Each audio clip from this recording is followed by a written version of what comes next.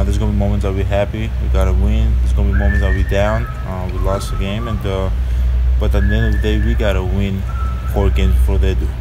You know, uh, I, I haven't won a game series so far. Uh, I hope uh, this is gonna be our first time. And as I said, we can't skip step. Tomorrow we gotta be ready for practice and execute the game plan. That's where I gotta use my intelligence and make the right plays and the right reads. Um, I can be finding my teammates, I can be shooting the shot. Uh, but at the end of the day, you know, I know they're gonna all they're all gonna be there. So I just gotta make the right read.